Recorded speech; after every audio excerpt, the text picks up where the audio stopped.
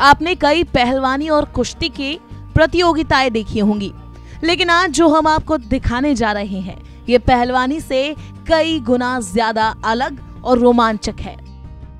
पहले आप खुद देखिए इस पहलवान का ये खतरनाक कारनामा।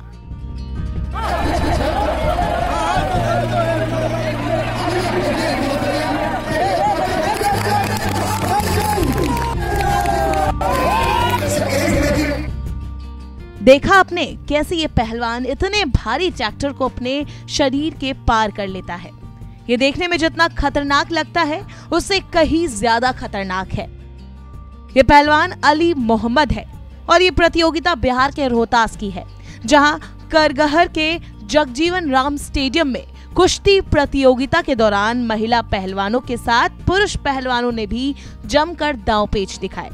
लेकिन इस दौरान पंजाब के जालंधर से आए मोहम्मद अली ने जो कारनामा कर दिखाया, उसे देख वहाँ हर किसी ने मानो दांतों तले उंगलियाँ दबा ली हो। ये पहलवान कभी ट्रैक्टर के नीचे लेट जाता है तो कभी भारी ईंटों से खुद पर वार करता है।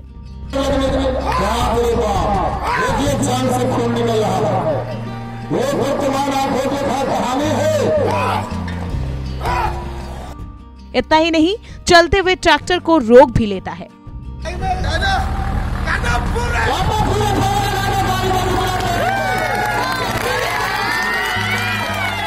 ऐसे करतब देख वाकई कोई भी दंग रह जाएगा। जैसे किसी ने नामुमकिन को मुमकिन कर दिया हो। सबसे हैरानी की बात तो ये है कि ट्रैक्टर के नीचे आने के बाद भी इस पहलवान के शरीर में एक खरोच तक नहीं आई। जब हमने पहलवान अली से बात की तो उन्होंने बताया कि इसके लिए वो 18 साल से लगातार प्रैक्टिस करते आए हैं और ऐसे और भी कई तरह के स्टंट करते रहते हैं। आप भी सुनिए पहलवान अली मोहम्मद ने क्या कहा।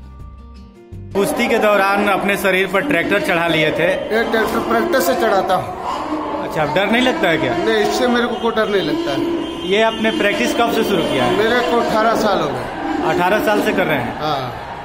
प्रैक्टिस करता हूँ, ट्रैक्टर रोकने की भी करता हूँ, ट्रैक्टर अपने ऊपर से भी उतारता हूँ। कान से बाँध के गाड़ी को भी खींचता हूँ चार चार से बुलेट को अपने बाजू से बाँध के रोकता हूँ।